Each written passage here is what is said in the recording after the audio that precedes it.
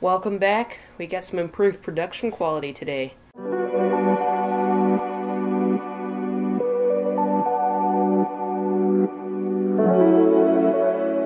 I bought another server. No surprise there. This time, it is the shorter 1U relative of the DL380p that I did a video on. It is my, actually my first video. And um, here is the DL360p. It's the 1U variant of that exact server. I just thought since that first video did so well, why not just do a, another casual video taking a look at this awesome server. So, I bought this on eBay, and it was the very first server that I purchased on eBay and picked up locally, too. Which I think is part of the reason that I got such a good deal on this, is because they weren't shipping it. And since they weren't shipping it, they sold it for really cheap. And I'm gonna go over what I got in this. And I did, I've done a little bit of work on it already, so it's some stuff's different, but eh, whatever. Um, it's an awesome server. No surprise there. The DL380p is awesome. Why isn't the why wouldn't the DL360p be awesome? And it is awesome. and so, I guess here's what I got in terms of specs when I purchased it. It had three 3 terabyte hard drives, two 460 watt power supplies, um, dual E5 2648L CPUs. Those are 8 core, 16 threads each, and they're L low power, so they're 70 watts. Um, it had 64 gigabytes of 1600 megahertz memory, and it is also HP Smart Memory too. Um, got a quad gigabit network card. Um, it had 2 gigabytes of cache. I downgraded that, and I'll get to why I did later to 512, but it has 2 gigabyte cache module in it. I think that's all the main points there. Um, pr pretty much like the big selling points for me was the uh, memory. It had a pretty good amount of memory. Uh, the CPUs, even though they're not V2s, I actually do quite like them. They are low power, 8 core, 16 thread. Yeah, the hard drives too. The hard drives aren't in this server now. I've got a couple 250 gig ones in there now. Um, the reason I'm not using 3 terabytes is because my plan for this server doesn't need that storage, and also I really wanted to put those hard drives right into my NetApp disk shelf right when I got the server home because I wanted that extra storage. Um, but let's go take a look at the inside. Alright, let's open this up. So, probably the first thing you'll notice is that this looks a lot like the DL380p that I already did a video on, and that's because it's the same generation. I mean, who would have thought that the same generation of server has some similarities in between models? Um, very similar PCI Express riser, um, very similar fans, very similar heat sinks, very similar memory arrangement, very identical power supplies. Um, it's very deja vu we've seen this before. I mean, the couple things that are different is um, these fans aren't quite as nice as the DL380p. That was one of my favorite things about the DL380p was the fans. Um, these don't like latch in quite as well. The only thing that's holding them in place is the fan connector on there. Um, because other than that, they just kind of flop around in there. But it's not bad at all. They're still hot swap. They're, just, they're not as quite as nice as the DL380p. They don't fit in there as well either. And it kind of pinched my finger a little bit. Ow. Okay, um, this is a large form factor drive bay again too. I just like large form factor HP servers. I mean, large form factor 3.5 inch drives are cheaper than 2.5 inch drives, they have larger capacities, and I already have quite a few large form factor caddies, so why get a new thing when you already have something that works? This actually, I found out that this server came configured exactly like this out of the factory. I'm pretty sure that. Um, the first thing, first hint was all the HP memory. Second hint was in the first video I talked about how they have the CPUs when the factory, HP factory configures these servers, they put the CPUs in little plastic caddies that slide into the socket and they're spring loaded so when you unhook the socket, um, the CPU will just pop out of the socket. It's kind of like a, I think Threadripper CPUs modern Threadripper CPUs have a similar thing, but this was only for HP servers. They're the only servers that I see having that. Um, but this had that, so I think that that means that these CPUs were original to this server. And the final thing is there's a sticker on the side here of the heat sinks that has the exact model of CPU and the part number for that CPU on written on it. So I think that this was configured exactly like this out of the factory. And the 3 terabyte hard drives came in caddies that were labeled 3 terabyte SATA 7,500 RPM. It looks very official, so I'm pretty sure this was pulled right out of some sort of production environment, and I bought it. In terms of my additions, or really downgrades because of my plan for it, which I'll get to in a minute, I took out the 3 terabyte hard drives. I didn't need the storage. Um, and I'll get to that in a minute, but just for a virtual machine host, generally you don't need a ton of storage on board depending on what you're doing. I just put a couple 250 gig hard drives that I had laying around in there, and that has worked fine. I don't need the, the 10 terabytes or whatever of raw capacity that there would be in this if I had the 3 terabyte drives in there. And um, the other addition was the Oracle warp drive in there. Um, those things, sorry, those are awesome. And to avoid taking it out, I have a second one. Um, these have gotten gotten up in price exponentially. I, when I bought these, these were about $60 each. Now they're like 120 because some YouTuber, who we all know, made a video about them. Not Linus Tech Tips. Craft Computing.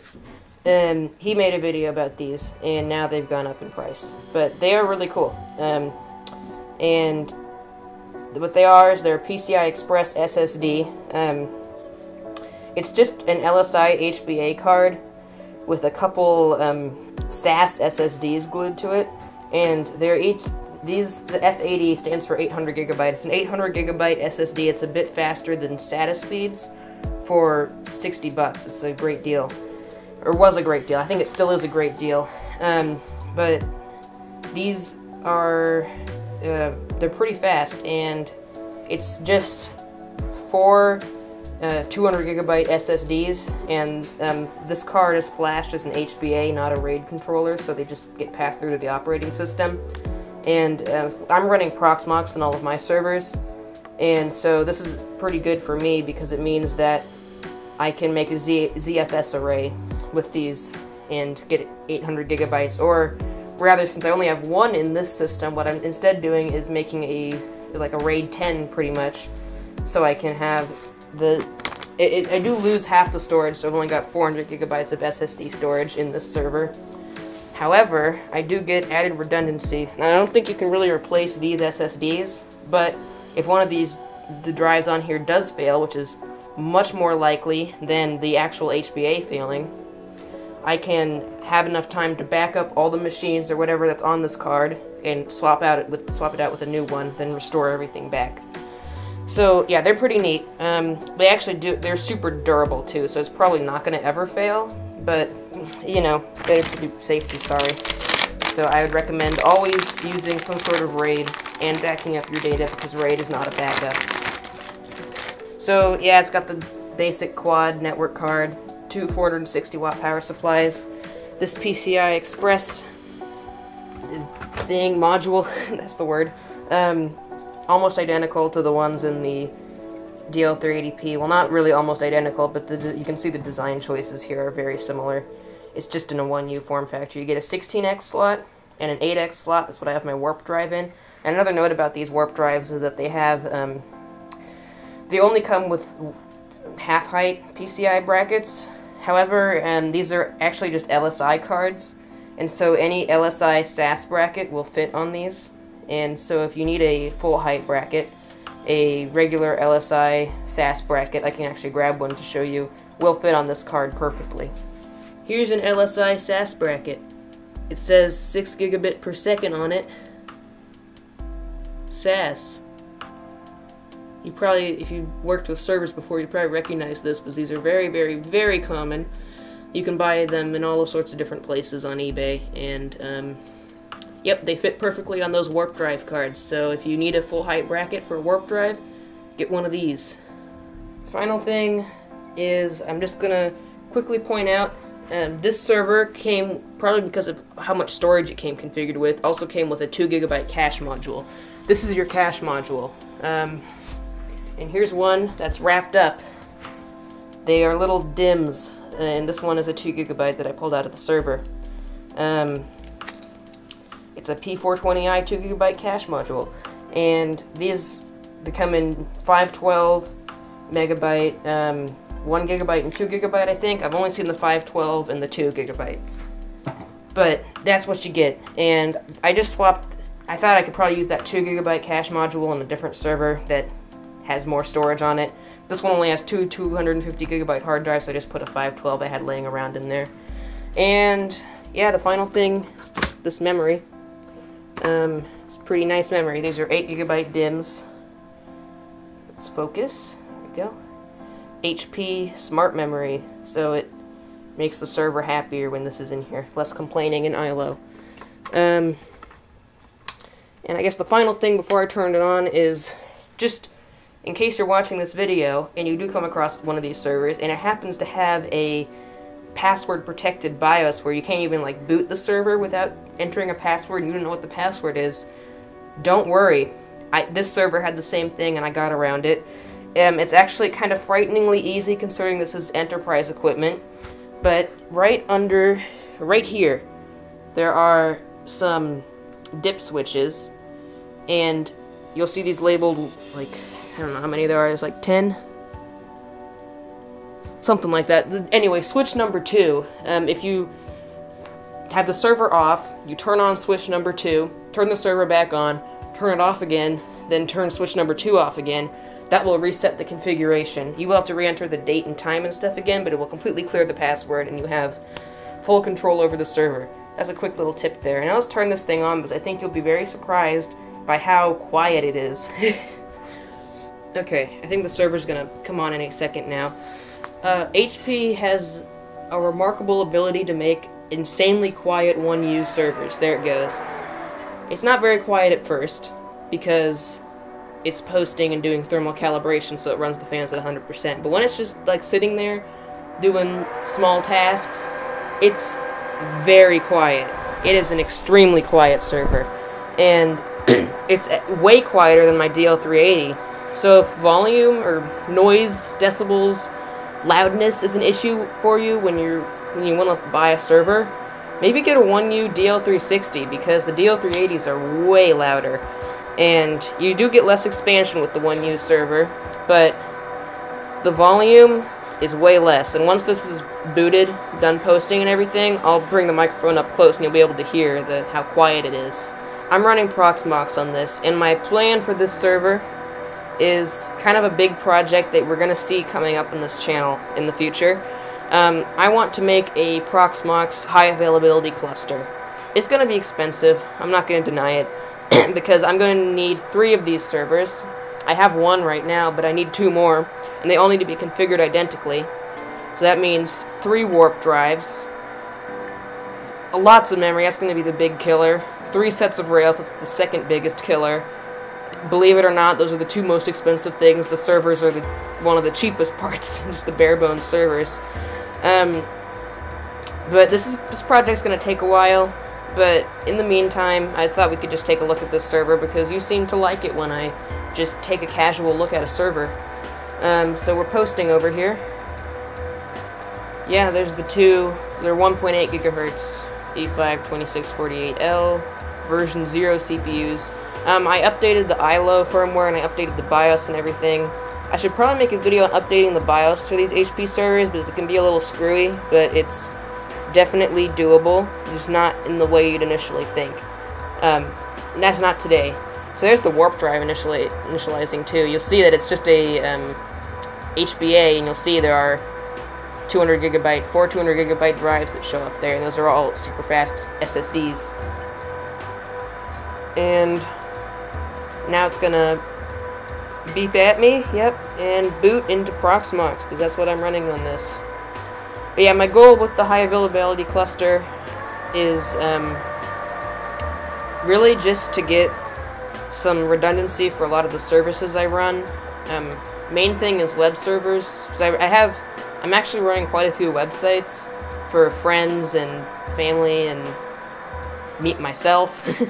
so I would like to get as much redundancy as I can. Uh, the other thing is that I my DL380p server that pretty much runs everything or is right now running everything. It is pretty much at capacity for running services, so I want some extra expandability there.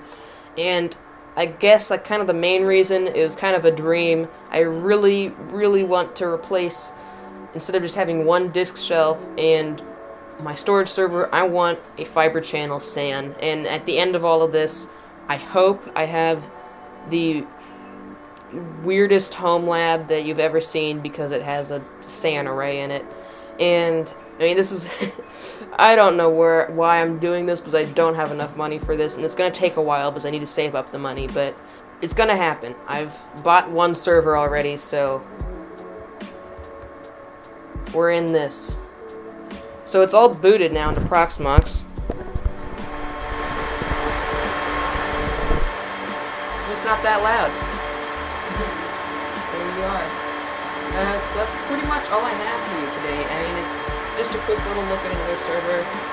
Uh, very similar to the DL380p. I highly recommend this one too. It's I haven't used it as much as the DL380p, but it seems very promising, especially considering that it um, is so much quieter than the DL380p. Um, and I mean, yeah, it's just a great little low power server. I haven't seen it draw more than 100 watts with this configuration right here. Um, so yeah, uh, as always, go check out my uh, Minecraft server. I will put link to website here. And also check out my website. I will also put that link here. And um, I think that's pretty much everything I have. So thanks for watching. Um, like and subscribe, I guess. If you didn't like it, you can dislike it too. I mean, I don't, I don't care. Um, but yeah, thanks for watching. So see you next time.